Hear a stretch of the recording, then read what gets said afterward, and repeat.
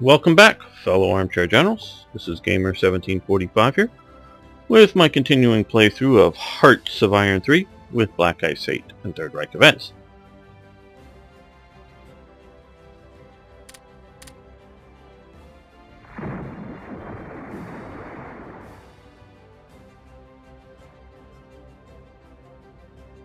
We're still shifting and moving forces, a huge stack here, getting them unstacked so that we can do some reorganization.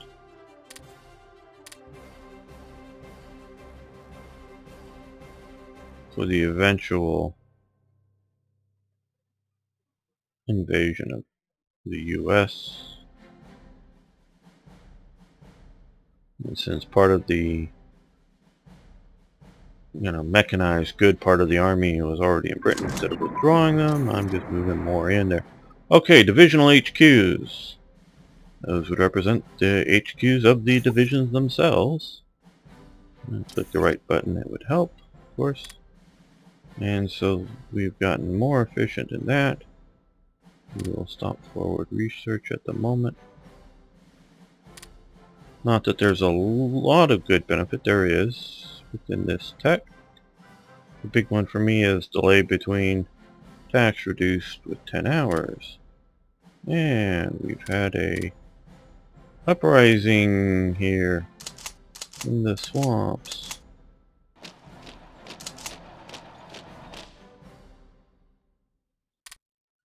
Probably won't be worth much of a fight.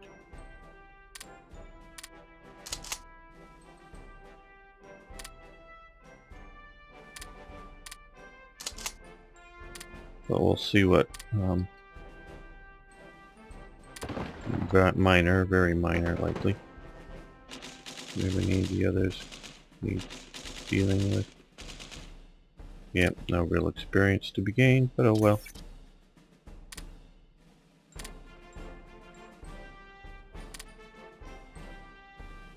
Do what we can. Send these guys back into Occupy.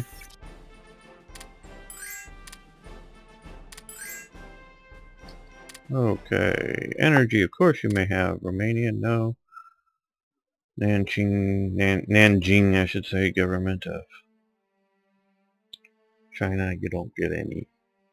Because,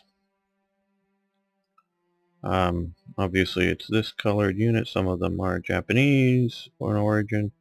Some of them Chinese that are probably pretty pathetic, but, um, I don't you know, the periodically there's been outbreaks of rebellion and Japanese correctly because we can see the green versus yellow. Uh, Japan isn't necessarily garrisoning it well. Um, outbreaks in there, you're not going to see any outbreaks and unless we're going to bring them into the war with Soviets at some point they're likely not to face any of the enemies. They're just an occupation army, and since they're not revolting, or likely to revolt, hmm, Italy is similarly in the same situation that it's mostly an interior. They have moved their navy out, or a good chunk of their navy out here to help protect Gibraltar, which is nice but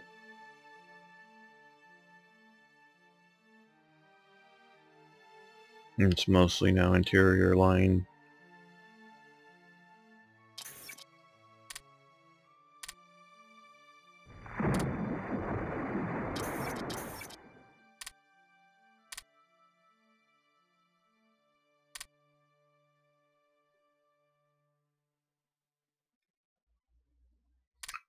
Okay, how are we doing out here?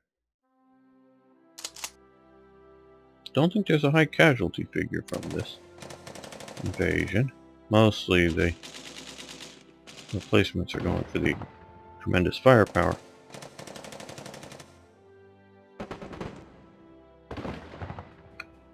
But we're just not making headway. Now maybe this is with some of our long-range transports We can bypass this up here, but I would like to get it, and since we're not really going to go into the U.S. until the good season, we have time to get there if we can. Not rushed. Okay, supply production. Now that helps with everything. Obviously we need to produce supplies, but everything just about uses supplies.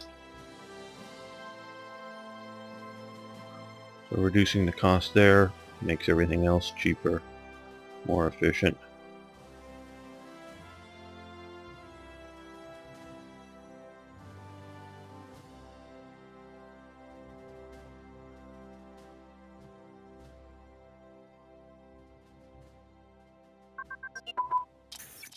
Okay, assault ship flotillas have advanced.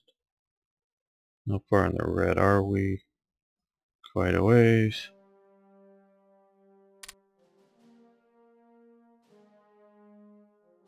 Flotilla's 44. Well, we'll cancel it for the moment. Just because I've shifted so much over here to deal with adding officers to the artillery.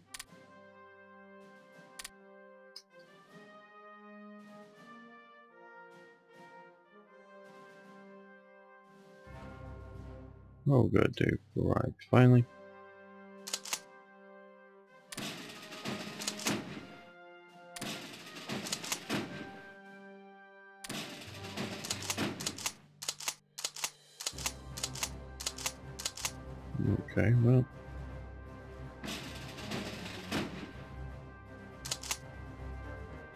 Send them down to here. Harcourt. These guys over to here.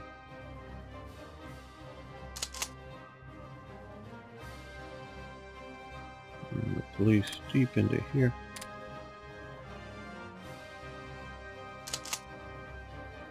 look at the revolt risk. This is only so low because these guys are here, which they're gonna leave.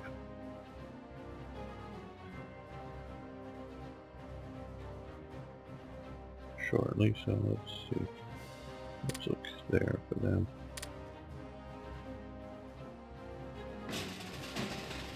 Let's see how many we can get these guys over here.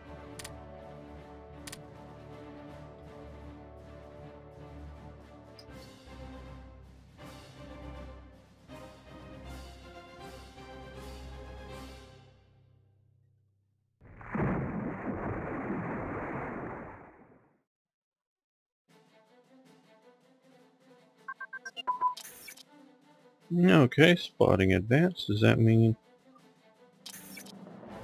better training for spotters, or does that mean better Zeiss binoculars?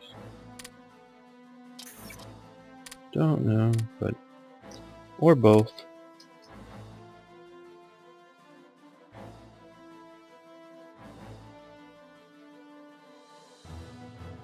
Okay, Afghanistan is mobilizing an army. Nice, but least at the moment unnecessary. Some of our cool Jaeger units. Now, these are getting too big. Okay, well, we'll at least get these guys going down here. Rebase. And we'll send these guys up to pick up the rest of them.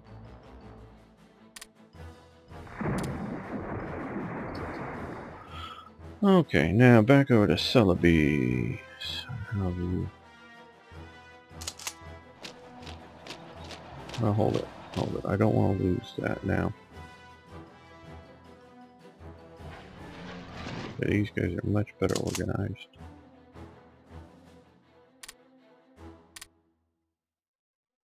Eh, still too far away, but whatever.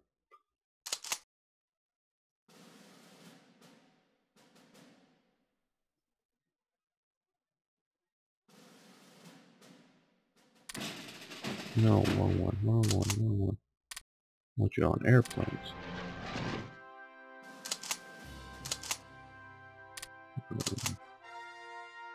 The airplanes.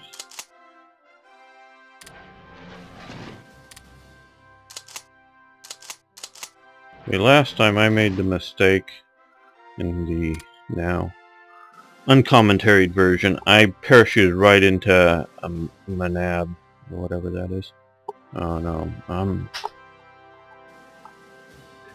Manando, Manando. Parachuted right into Manando, um, which, if it's still being held the same, has a Marine, um, U.S. Marine Division right in there, and that didn't go so well. So we're going to parachute into here first. Yep, learn from mistakes. I just saw that originally seen it. It was did some overflight. Saw that it was brown. Just thought it was going to be like another British garrison here. Oh well. Okay. Now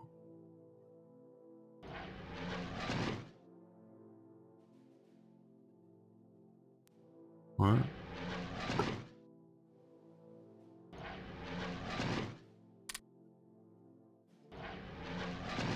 Unload these for the moment.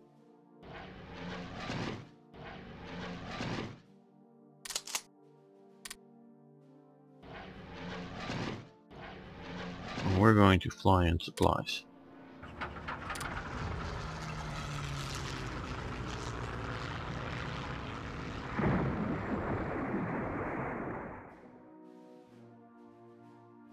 a lot of those are ships. So as soon as we can get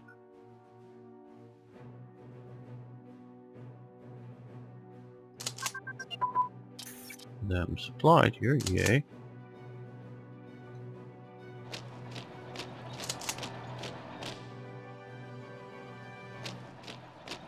These guys are going to support the attack.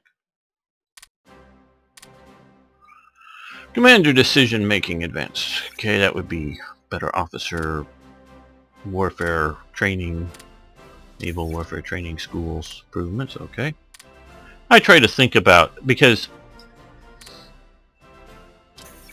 you know we call these techs, and that's generally sort of what we think of them are. And these are obviously techs. These are you know a, a new bomb or something else. But um, doctrines also and use leadership but I try to get behind the idea that what they're creating, now obviously a lot of them, yeah, they just increase organization or they just do something else like that, and you already have two or three other things that may not increase it as much or may increase it more, um, that have a different name, but I'm trying to look at the reason behind behind it and why um, say the Italian Navy is different than the American Navy. Um, some of that reason is technological, some of it is doctrines, some of it is skill sets. And so it's not just, oh, look at the ships, you have equal um, heavy guns on them or something like that, so they should be equal. Mm, that isn't how it worked out. And so it's how to make the armies Navy's Air forces different. Okay, this time we won easier and better than last time. So now we've, unless, in the, well, the AI does not do um, naval air, or not naval, but air supply, unfortunately. So these troops will start losing their supply rather quickly. And once we get here, we will connect our supply lines to it.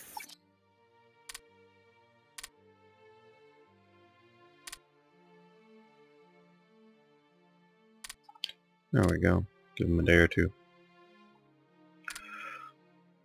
Now we'll build some radar. I think that'll be enough. A couple of radars though. Look out into the sea a little ways.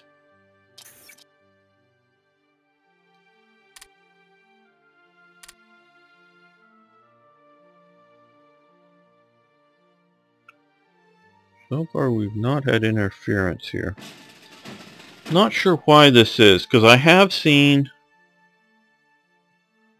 the AI come out. Maybe it's just been random happenstance, but I it has appeared in the past that the AI does at times identify um, enemy fleets and sends out a fleet to inter, you know, interdict it to to attack it.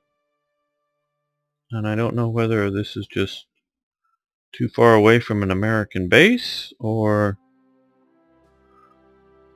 if all the American fleet is out in the Pacific somewhere, you know, one of the big, you know, death stacks of is it all just sitting in Honolulu as a big, you know, huge navy and it just too far away? Don't know. But my well, my whole point, of course, is to avoid combat with the American Navy, even to a degree to avoid um, air attacks on it, because it once gets a huge um, stack like that, it seems to just get the air units as well. Deny it ports, take away its support, much like we've done to the British Navy so far. Because yes, some of the British Navy has been in and around here. Now's the time I think to build the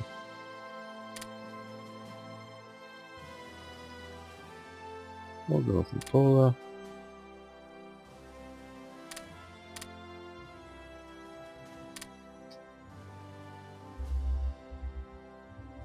We have seen like here, we have uh, you're in the way. Oh, we'll just moved, okay. Well, it was here. We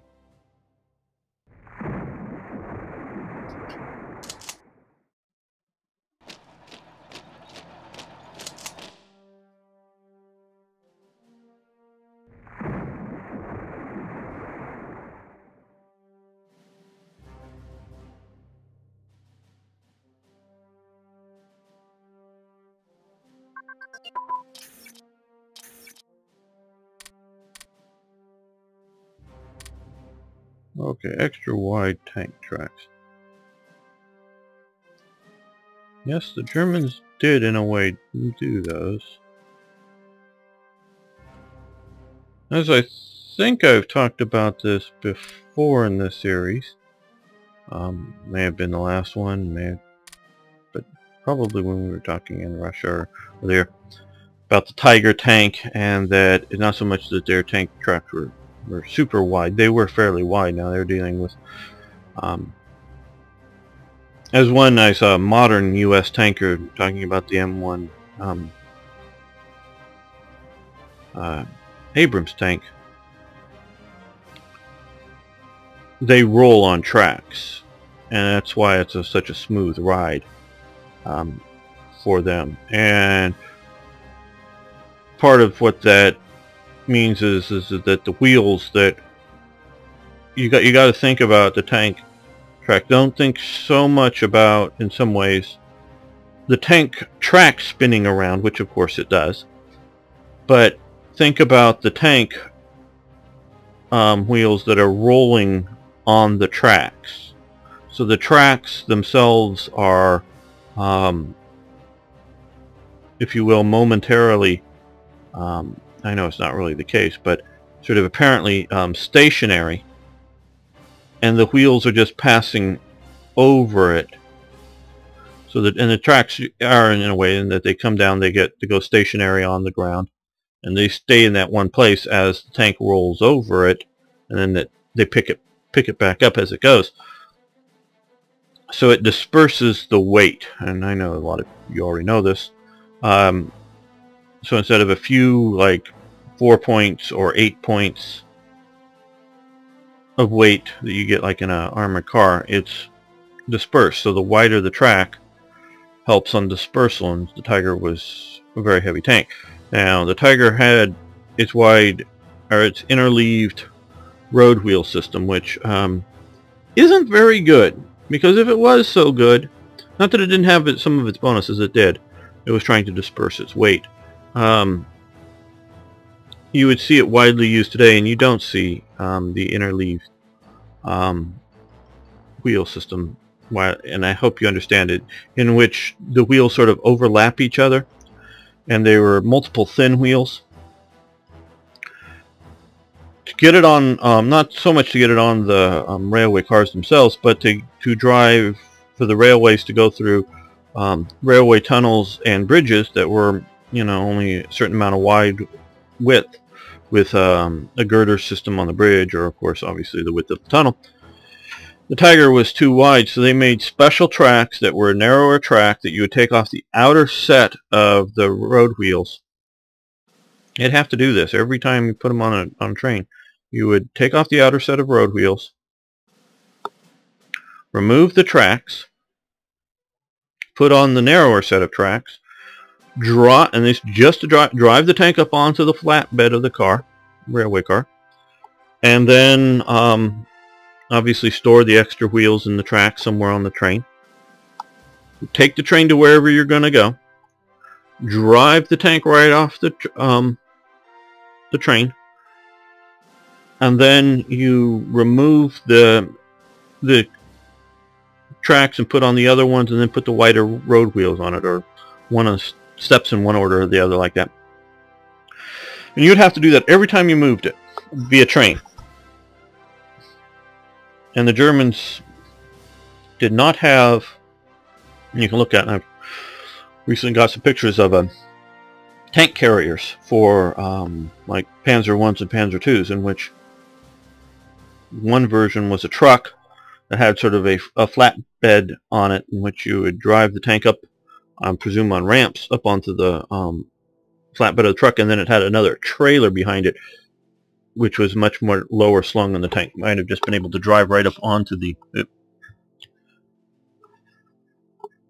right up onto the um, trailer bed without having to go up too much of in the way of ramps. Uh, and so you could much more efficiently quickly drive a couple of tanks, and those were Panzer 1s or 2s. But the Germans did not have that option with something like the Tiger in which you could, um, at least not I've ever seen a picture of, in which you could put a um, tank on a um, flatbed to, um, you know, drive it with a truck to get it somewhere. You had to drive it at its slow, tigery pace. So, yes, game designers, your Tiger divisions your heavy tank division should be slow strategically because you had to either SR them via the railway or you had to drive them slowly down the road. Um, standard recovery practice, um, and again I'm, because the Germans use so many um, numbers as part of the names of types, the heaviest of the prime mover half tracks, not the armor type, the ones, the, he the heaviest types that you would use for towing the Flak 18, the Flak 36, whatever, the, the 80, 88 millimeter um, anti-aircraft guns, and some of the other, the heaviest type, which was heavier than the standard ones that move the um, the 88 millimeter anti-aircraft guns.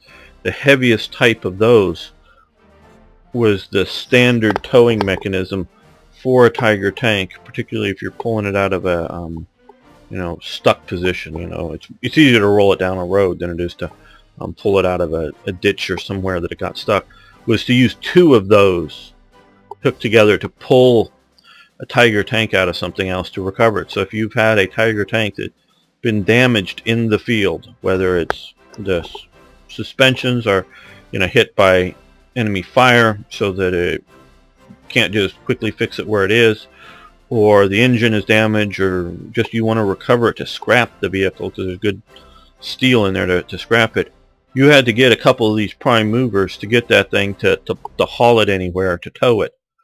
And so it, and those those things aren't that fast themselves, so towing these things, these behemoths around, and that's the only way to get it back to even to a field repair shop. So you had to do that, and if you wanted to, and if the tank wasn't drivable, you'd have to tow it up onto the flatbed, you know, put on the, the you know, road wheel changes and tow it up there. And so Tiger tank, heavy tank. Obviously the Tiger 2 is even heavier. Um, not sure that it's any wider. I, and I don't know if they had a similar, I don't specifically remember seeing a reading about a similar track width variant for the um, Tiger 2 and moving. And obviously the Maus is super heavy. That was so he so so heavy it wouldn't go across many of the bridges including railway bridges, because they're just too wide, too big. So since it, um, they needed to move it once in a while, you know, there was a th thought of that, that you weren't just going to build it at the factory and use it to defend the factory that it was built at. You had to literally move it once in a while. Um, it was so difficult to move and slow that it, even any sort of road grade was almost too, you know, going up was almost too much for, for that thing. And then it crawled up at like 5 or 10 miles an hour, some ridiculously slow speed. But when it got to rivers, um, it was sort of an interesting tank design by Ferdinand Porsche in which um, I think it was four, maybe mistaken, four electric engines or something like that that drove the tank itself. I think I'm remembering all this correctly. And so, um, and not the gasoline-powered engine in, in it that it moved it, if I'm thinking correctly on this. I hope I am. I mean, I didn't plan on any saying any of this. And so you had the um, the gasoline powered engine would turn a um, you know dynamo to, to generate electricity, and that electricity would in turn drive um, would go to uh, four smaller engines at you know the sprocket places to turn the you know the the the tracks, and so it worked fairly well, and it was instead of using a um, a transmission system, um, which the final you if you remember some of the debates on the Hearts of Iron 4 forum about the Panther and its reliability, well, its primary problem was sort of in the final drive breaking down, and that's sort of from not the engine. It was sort of you know how the um, do the transmission. I'm not a mechanic, sorry. Um, but the transmission transmitting the, the power to the final elements to turn the wheel in there that there were um, weaknesses in the system that they were they made as light as possible uh, that they were the materials that they had. And I say with the materials that they had because things like titanium weren't generally available and other things but and so there were weak points with the and some of it might just be quality of metal and lack of tungsten mix in with the, the steel that could have made this the exact same design reliable if you made it stronger. But it had its problem in the final drive system through the transmission. So transmitting all that power and generally just to two of the road wheels to move the Maus was just going to be more and more heavy steel to have to do this by using the dispersed architecture of the um, electric engines you were able to do it um, somewhat effect effectively. Well, the Maus, like I was saying, was too heavy to go over most bridges in Germany. Some of those, of course, are what I would, what maybe a lot of people would call streams, in which you know are six, eight feet deep or something that um, wouldn't be that big of a problem just to drive through them. You have to prepare the bank on either side, make it a you know the steepness that you can go down and then up it because the Maus wasn't very um, uh, we're just saying climbability wasn't very good with the tank. So but then there are also a lot of um, other larger rivers as we can see the ones basically on this map here. We'll go to the nice pretty map here. Um, you know all these rivers. Now some of the big main bridges across the Rhine and wherever may very well be able to support the Maus and the Maus could drive over them. But you can't, one, rely upon the bridges being intact, and two, maybe where you need to go over it, where let's say the bridge was here in this city, that may not be where you need to go across the river. You may need to go across somewhere here. Well, the way they did that was is they made the tank, or at least, you know, they never really put any in production. They have a few pre-production models. But the idea was is to make it um, airtight and that you'd have to um, have, like they did with some of the um, these, the early Tiger ones, um, special um, things to you know tighten up all the intake air intakes and seal the tank up. And so you would seal the tank up. You would have um, you know a snorkel thing that would float on top of the river, and because of the type of um, situation you in earlier experimentation, the Germans found that it wasn't um, very effective or very easy to do the um, do the snorkel thing for the intake and the exhaust on a on a you know gasoline or diesel engine to get it across the river, especially if you're fully submerging the tank, and that gets harder and harder to do. So what they did was is you you took two mouses to get across some river that it was too deep for to just normally drive across. One mouse would seal itself up, and they would run a, a, a cable back to the other mouse that would sit on the side of the river, and it would run its engines to power the electrical engines in the um, tank to get it across the river. See, it was a hybrid. See, the Germans, they were going hybrid. They believed in global warming. They were they were with you, lefties. They thought global warming was evil. Not quite, but okay. Um, so they're they're hybrid. Um, so they would use the electricity of, generated by one just sitting on the bank to get a get the tank one tank across the river and then that tank would unseal itself and get ready to, to work again. And they would seal up the other one.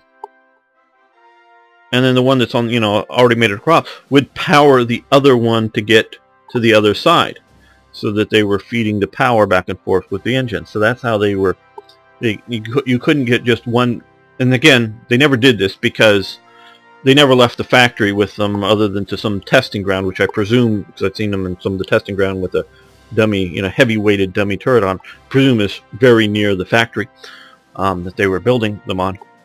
Um, but that the the theory was, is the practice was to use that to get them across rivers, including internally in Germany, or if you know if you're gonna win the war in 1945 with these new super tanks, and you're gonna have to go back into Russia with these super tanks. Um, to get across any significant body of water. That's how they were going to have to move these things across the water. And since it was it was literally too heavy for the railroad, too too big, too wide, so you'd have to drive them. And think about a 1940s Porsche hybrid engine and its potential or likely reliability factor. How many miles can you go now again, it's you know it's a hybrid, so you're using the engine to to to, to generate electricity to drive electric motors, but I don't know how well those electric motors are going to be for reliability. You know how far are you going to you know how many maintenance stops are you going to have, not just your sort of daily tank maintenance check, and make sure the oil and the transmission fluid type things are all all working right, and making sure the tank um, tracks suspensions are appropriate, but proper rebuilds and refits are you going to get. So the mouse is just supercilious ridiculousness that um, just doesn't work. Now, you know, you can look at the weight of an M1 Abrams. It's getting heavy, but obviously we now have the technology to move something that heavy, and things have changed. So that's just my sort of diatribe on super heavy tanks and started at the basis of a wide track wide track development I know okay so we did stop that okay light cruiser escort role we're gonna leave that because we're wanting to get to the carrier task force tech so we're only a little bit into the red hope I got the details right. And this is one of the reasons I list, I um, formally call this historical commentary because I don't claim in my, um, again, as I said in other episodes, when I'm putting um, information into the mod, I'm looking it up, I'm double checking it, yes, Wikipedia or wherever else that I'm checking it up, the books, they can be wrong, so it can have bad history in it. but I really there take the time to do my best to make sure the history is good and solid. This is commentary in that it sort of allows me to fudge things that I don't quite know the details on and you're not expecting detailed facts, but it's also commentary as in it's my evaluation of history, whether it's evaluation of the effectiveness of the mouse or um, uh, political policies or diplomatic decisions. So the commentary label allows me to, we're going to build some, oh. How we, two, okay, we're going to build a couple of more. Heavy transports. We'll need those, or could use them, maybe not need them, the right term. Allows me to um, try to work from memory here and talk more commentary than reliability. So if you want more details on wide track German tanks, road wheels and such, or more details on the mouse, go look it up for yourself, but you get the general idea.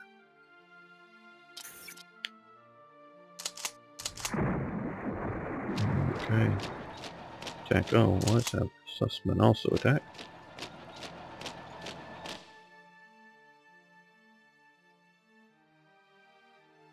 Sort of waiting for, oh, there's the Japanese torpedo boats displacing some of the force here. We have, oh, I thought I had a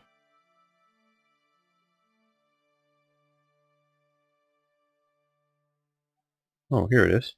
Of course, I thought I had, because I did have more proper escorted fleet. But we're going to move over reinforcements to help.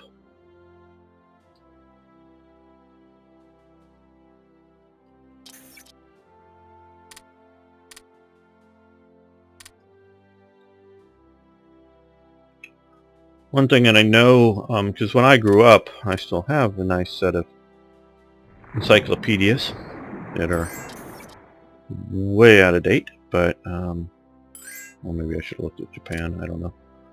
Um, yeah, we'll give you energy. They may have wanted energy. Um, and I got a large collection of books on the bookshelves. And I always did sort of kind of think, why do I need to learn some of the um, times tables and now with um,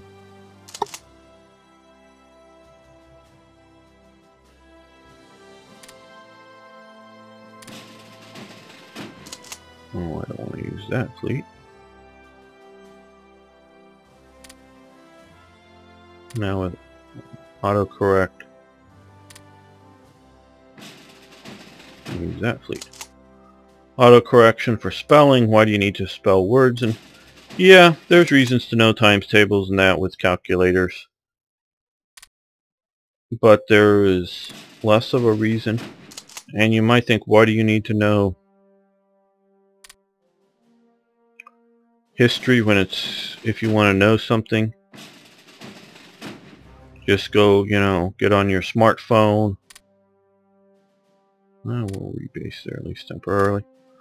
Go get on your smartphone and look it up quickly.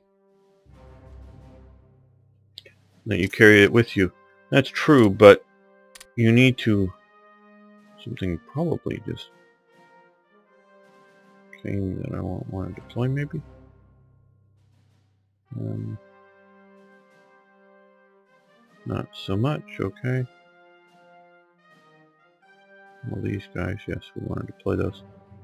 Get them upgrading to whatever the current standard is. Um, that's quite true. Like, I could be pausing and, and wouldn't be a bad idea. I'm quickly looking this stuff up on Wikipedia. But you sort of kind of need to know what to look up when. Man, I'm glad the Japanese took this. I didn't notice that they had. I presume they've taken that as well. No, they haven't taken the Northern Andaman Islands. Or I would have called this whole thing the Andaman Islands, but okay. Um, you got to sort of know what what to look up. if you know what I mean. So I do sort of agree to some to some level. You don't need to know all the details of history and memorize like all the dates and all the facts. You know, X number of artillery were used in such and such battle or X number of tanks were fought at, you know, Kursk or something like that. Now, if you're writing an article or a paper, you sort of need to be able to look that up and have that correct. But so long as you know that Kursk is a major tank battle, and you want to find out some facts about it, you know where to start looking and you know what to start looking for. And so that's sort of the, you need the framework, if not all the details. Have we got to jet fighters yet? No, how close are we to jets? I'll keep clicking the wrong spot. I'm going to go up to technology. Okay. So, well, somewhere in here. Well, there it is. Okay. Not too long.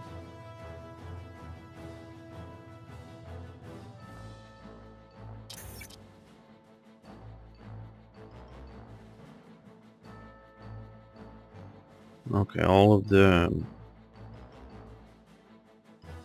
additional men for the artillery has not taken too much, but has taken a big chunk of our manpower.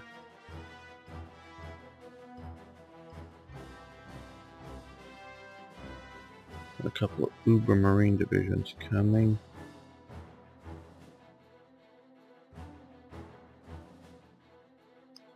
And our nuclear reactor soon.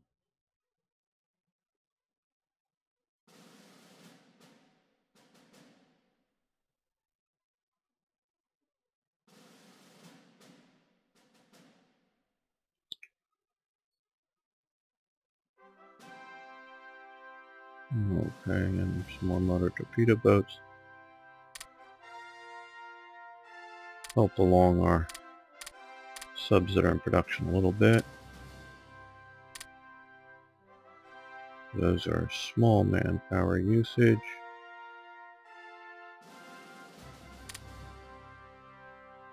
A few more assault ships.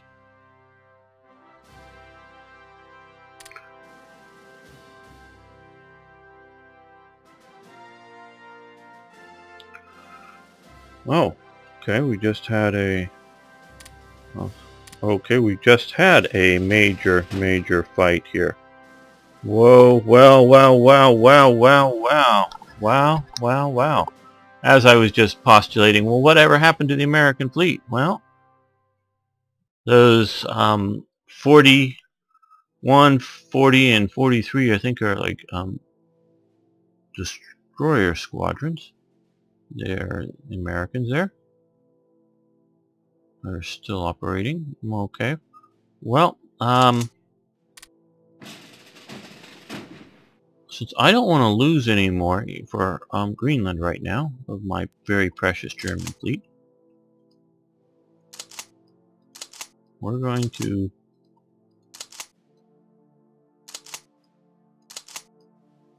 Okay, yeah. Now we're going to stop the invasion. And we're going to head back to Iceland. Rebase. Uh, rebase to Iceland. Good. Don't think we lost anything significant, including a bunch of transports. I mean, if we lost, if, if we, if I fully fold up on transports and we lose, I mean on units and we lose transports, we start losing battalion or brigades and whatnot, which of course would be messy and expensive. I don't really care about losing landing craft, you know, in and of themselves. They're fairly cheap and easy to make. Um, destroyer, destroyers I start to care about, and of course I very much care about capital ships and good proper divisions. So, well, we've had an, um, a close encounter uh, with the Americans there. So, here's Mark Bismarck, Gneisenau, Horse. Yeah, it looks like they're mostly destroyer squadrons. And okay, well that was interesting. Very interesting. Oh, we're looking for elite commando unit defense. Is that one here? Yeah. Okay, well.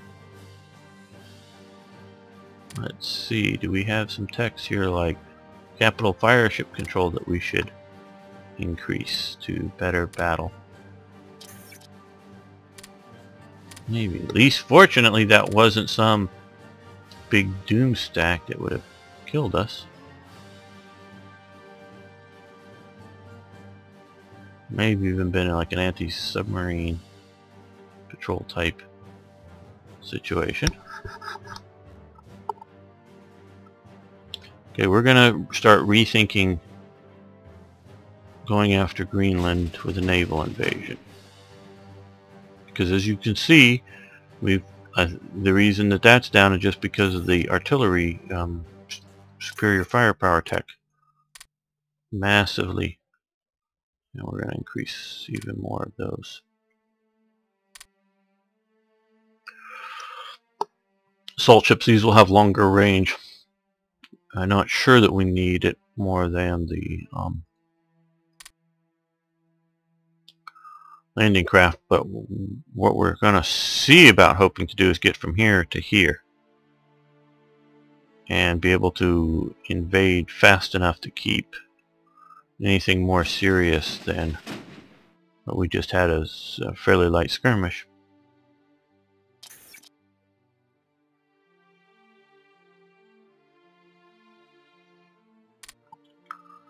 And let's see, we're going to do a another carrier air group. Just in case we lose this one. Okay, it isn't displaying, but there is a, at least there should be down there.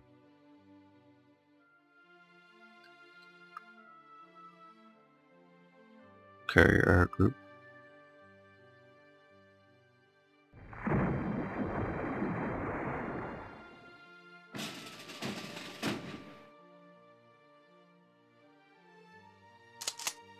Yes, load up. Load up.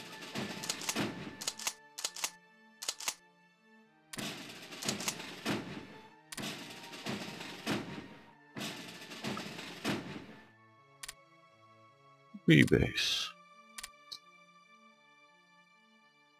Okay, how's our revolt list risk looking? Okay, well we have the these guys down here and It'll take a while for the effects of the units that are just leaving to fully leave the occupied Vichy zone. I still don't think Vichy has any, or Spain either, has any transports because they're, I don't know if they're still migrating through here. The, they were shifting forces all the way around through here just to get back and forth here a while ago. So I don't even know if they can get additional forces down here if they wanted to. So we'll help them out. Okay, airplane radio communication, which is of course nice. Yeah, we're yeah just now getting out of the red, but I did want to get that capital ship. And cheaper than that, we're going to get some more naval bombers. Naval bombers can't reach where we want to go, but once we sort of kind of get there, we can at least try to dominate things. looking at this map, hmm. wonder if it might be easier to go from the Azores. We might be going after the Azores here. They're fairly well garrisoned. So that might be quicker to Newfoundland than Iceland my plot was. Now, I don't know if it, because we can look at here, analyze this a little bit. The weather here, frozen 100%. So that, um, yeah, obviously, I, yeah, um, I know it's Arctic, and I know we're, we're dealing with that, but that is, well, why we had ski units and such in the invasion force and not regular armor, but maybe come summer. But we'll also see about going after the Azores maybe next year. Maybe even with nearly the same invasion unit. They've got some coastal defenses and such, so we'll see about that. Okay, rated guard, radar, blah, blah, blah, blah. Radar guided bombs. Well, has advanced, but actually just for us just happened. Okay, so we're going to stop that now, obviously, because we're pushing too far forward on it. Um, don't... I know that they they were doing some radar-guided bombs and radar-guided missiles. So the ones that I'm particularly thinking of, the Germans were doing. Um, one of them may have been a bomb, but it was sort of a glide bomb, meaning you launched it out of an aircraft and it had wings and it glided. Uh, though I think it had like a flare in the back of it or something, so you could so the flare would show up. Um, and you would um, watch the flare because it was bright and like to shoot it, take out a ship, and so you and it was wire connected to wire or no maybe that one was um I think that one was um radio operated not wire. Yeah from again I'm remember trying to remember all these things from various documentaries I've seen. And so the if you had no air cover over the ships whatever ships they were um, which is obviously bigger ships with bigger anti-aircraft gun you're further away but they're bigger targets they could come up with a standard German bomb or launch one of these glide bombs from fairly high altitudes. And, you know, sort of like a, a small V1, if you will, um, rocket, but not, but not a rocket motor, but just short, stubby wings on it.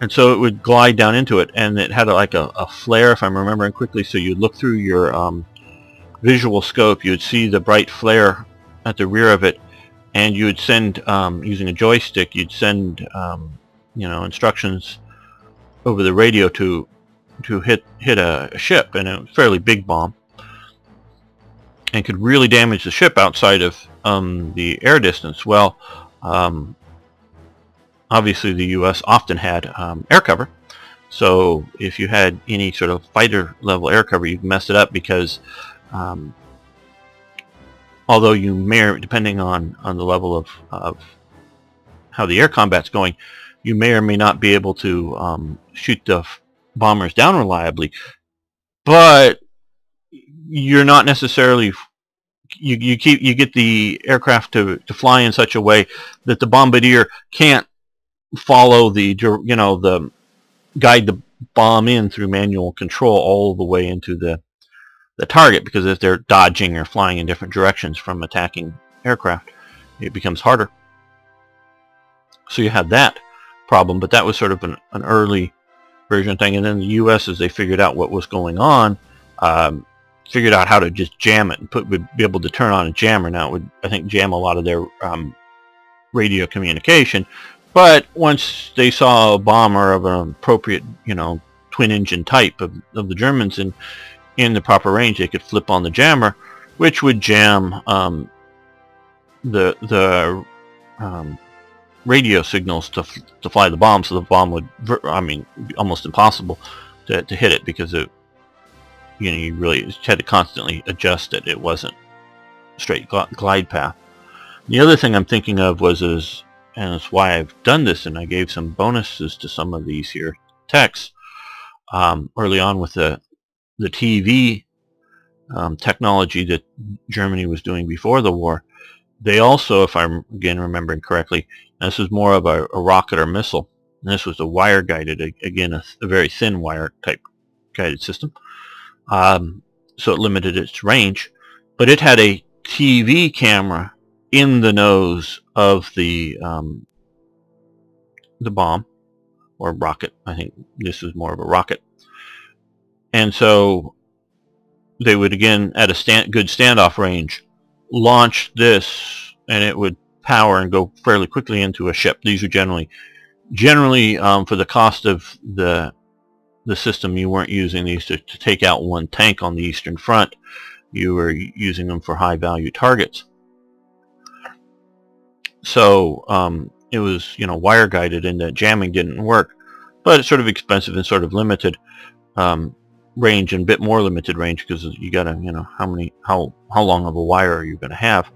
And so, but it, you would be able to look, get the signal back of the picture of the, um, you know, the, the ship and you just fly it straight into it. I don't really think the Germans were doing, um, in, for, these are for um, air launched, if I'm understanding correctly, because of what they affect here. Really doing too much in the way of radar guided stuff in the war. So the U.S. were working on some of this stuff. I don't know if that they ever got too far in it, but we're doing some research. So I'm sort of thinking again, these are more of them, if not exactly radar guided, but electronically guided smart weapons, because that's what we're talking about. We're talking about smart weapons, because you can see the you know the first Gulf War, um, the American version of the first Gulf War, as opposed to the Iran-Iraq Gulf War. Um, you know the um, flying in of you know the you know the the missiles or the bomb the JDAMs video of them going right in their target. That was started in World War II it was not landing craft flotillas have advanced.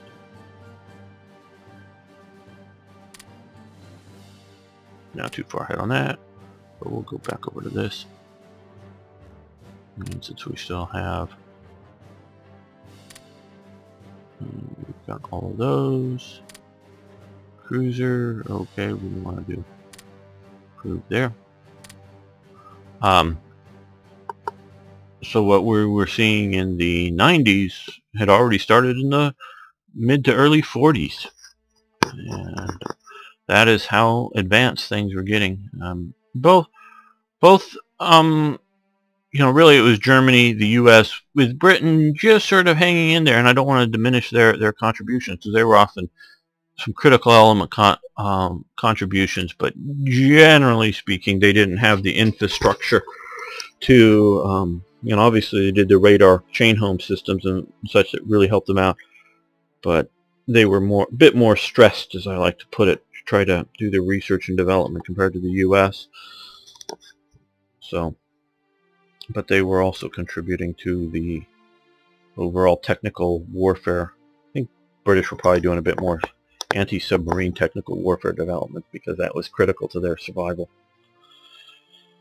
Okay, well, thanks for watching this episode. I really do appreciate it. Um, thanks for liking the videos as well. Um, please continue to post your comments. Um, they help enrich the series because I know a lot of people will just watch the videos but those who want further information, please look down in the comment section because I'm happy if when I don't remember the technical name of a, of a radar guided bomb or program or something like that and one of you guys wants to look that up and give links to Wikipedia or whatever, I'm very happy to have you give value added service to the series. So thanks so much. See you next time.